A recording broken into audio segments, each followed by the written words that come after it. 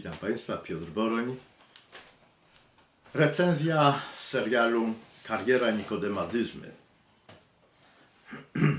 Siedmiodcinkowy serial telewizyjny wszedł na ekrany w maju 1980 roku i być może niejednemu nasunął na myśl refleksję na temat PRL-owskich jelit władzy. Może nawet pomógł przyspieszyć bunt społeczny, ale niewątpliwie stał się też ofiarą wypadków sierpniowych, bo karnawał Solidarności odciągnął Polaków od telewizorów, angażując w życie realne. Ale jeżeli już mowa o elitach sanacyjnych, którym przywalił swoją książką w 1932 roku Tadeusz Dołęga-Mostowicz, to trzeba zauważyć, że jego intencją było ich skompromitowanie. A, jakby to dziś określił premier Morawiecki, nowa rzeczywistość pomieszała plany Dołęgi-Mostowicza. Pamiętam, jak w 1980 roku miła znajoma utrzymywała, że ten Dyzma to niezły hochsztapler, ale ówczesne elity to coś wspaniałego. Długo spierałem się z nią, że w ówczesnych standardach zarówno Dyzma, jak i reszta bohaterów książki miała być groteskowa. Tłumaczyłem, że to elity PRL przez to, że okazały się o wiele gorsze, wyniosły sfery sanacyjne do poziomu Parnasu. Nie zgodziła się ze mną i chwaliła tak sanację, jak i nawet jej obraz w znakomitym serialu w reżyserii Jana Rybkowskiego. Wyniosłem z dyskusji podobną nauczkę, jak z egzaminowania pewnej zakonnicy, yy, która utrzymywała w tamtym czasie, że Ziemia Święta to inne określenie papieskiego Rzymu. Rzeczywiście dla wielu ludzi wyznania rzymskokatolickiego punkt ciężkości wiary przeniósł się z Bliskiego Wschodu na Półwysep Apeniński, a dla ludu pracującego miast i wsi, udręczonego przez PZPR-owskich kacyków jakimkolwiek, jakikolwiek szarm i blichtr niósł powiew cywilizacji na PGR-owski archipelag i zardzewiałe ośrodki przemysłu ciężkiego z żelbetonowymi sypialniami ze ślepymi kuchniami.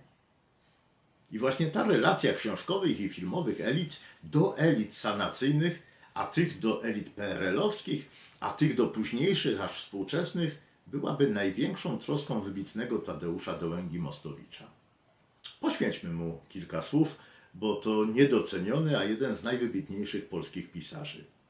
Ochotnik z wojny 1920 roku miał poglądy prawicowe i sympatyzował z chrześcijańską demokracją.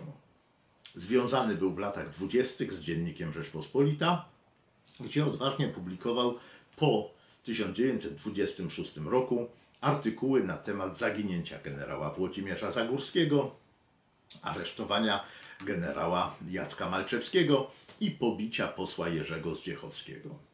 Czego notabene o mało nie przypłacił życiem, gdy sam został porwany z ulicy Grujeckiej i pobity w lesie pod Warszawą. Na szczęście zdołano go odratować, ale już nigdy nie odzyskał pełni sił fizycznych i żył z wybitym okiem. Sukces książki przyniósł mu bardzo duże tantiemy i sławę, która go lepiej chroniła niż mit o niezależności prasy. Ale nie osiadł na laurach, bo do wcześniejszych kąśliwych politycznie utworów w rodzaju Ostatnia Brygada w jego dorobku znalazły się jeszcze tak wzruszające, choć zawsze społeczne, doktor Murek, Znachor, profesor Wilczur i inne. Były inne próby ekranizacji Dyzmy, a nawet słuszna, ale artystycznie dość słaba próba kontynuacji wątku karierowiczowskiego i rozliczenia elit trzeciej RP z Cezarym Pazurą jako Nikosiem Dyzmą.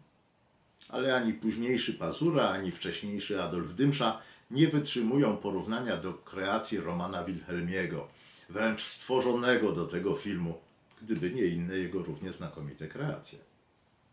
W ogóle serial z plejadą wybitnych aktorów, jakich mieliśmy wówczas kilka setek, udał się duetowi reżyserskiemu Jana Rybkowskiego, filmy o panu Anatolu, Chłopi itd., tak oraz Marka Nowickiego, częściej operator, jak Rejsu, Gniazda, Rodziny Połanieckich, Chłopów itd. Tak udał się tak dalece, że porównując go mimowolnie, na przykład przez garnitury z Wielkim Gatsbym, nastręcza mi się myśl, czemu nie sprzedał się na ręki zachodnie.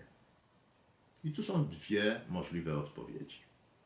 Albo nasi przedsiębiorcy rozpowszechniania filmów powstydzili się scen z żenującą choreografią, albo no i na to nastawiam, nie dołożyli starań, by go sprzedać choćby do USA, gdzie wie, że spodobałby się publiczności.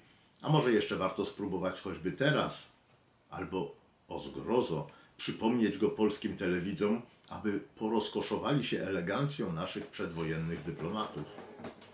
Ale w końcu, kariera Nikodema Dyzmy to nie tylko polityka. To także piękne kobiety, piękne salony, to pejzaże, samochody, konie, to dowcipne dialogi, kapitalna muzyka przedwojennej ulicy Praskiej. To wreszcie całkiem niezłe pomysły na rządzenie. Bo rzeczywiście ci krytykowani przez Dołęgę Mostowicza ministrowie potrafili coś zrobić dla Polski. I tu znowu wchodzę w porównania ze współczesnością, więc chyba lepiej skończę recenzję, zapraszając do obejrzenia serialu.